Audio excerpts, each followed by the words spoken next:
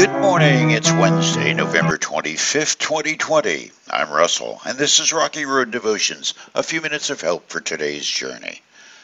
Our devotion today is entitled Dancing with Time, and our scripture is John's Gospel, chapter 5. Jesus says, I tell you the truth. Those who listen to my message and believe in God who sent me have eternal life. They will never be condemned for their sins but they have already passed from death into life. And I assure you that the time is coming, indeed it is here now, when the dead will hear my voice, the voice of the Son of God, and those who listen will live. I'm not much of a dancer, just ask my bride. One of the things I do know about dancing is the unquestionable reality that the music does end eventually even in the mid part of the last century when marathon dance contests were held to choose a winner, namely the last couple still standing upright after hours and even days of quote unquote dancing. The record, according to Guinness, set just two years ago is 126 hours. One of the strategies for lasting that long is for the partners to take turns napping while the other holds him or her upright. Dancing to outlast the clock is something of a fool's errand. You just can't outlast time and eternity. That is the nature of Jesus' statement to his followers. The time is coming. At some point, which God alone will determine, the clock switches from time to eternity. And that is when the judgment will be finalized. That's where the other statement in this text becomes crucial. Jesus said, and those who listen will live.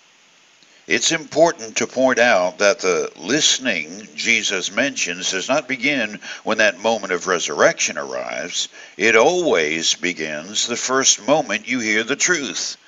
The time for salvation, which is acceptable to God, is always right now.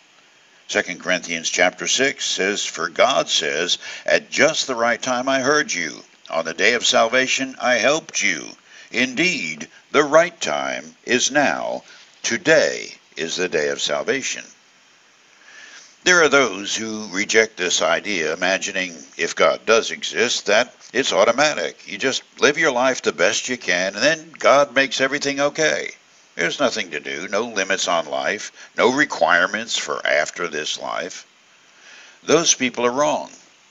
Most people who reject the idea that time will run out on ignoring God have never read much scripture.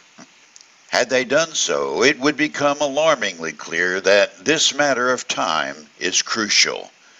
Dancing with time is a contest, and make no mistake, time always wins.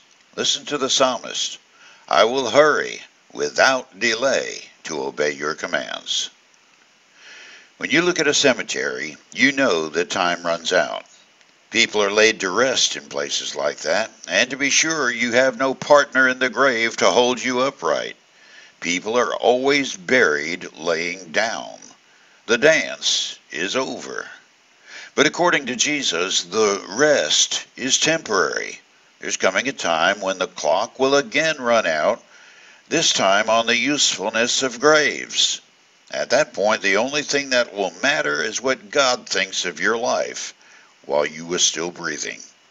For you today, the old question is still a good one and hasn't changed. And it's particularly important when we think about this dancing with time we're doing. And this is how it goes. What will you say when you stand before God and He asks you, Why should I let you into my heaven? You chew on that as you hit the rocky road. Have a blessed day.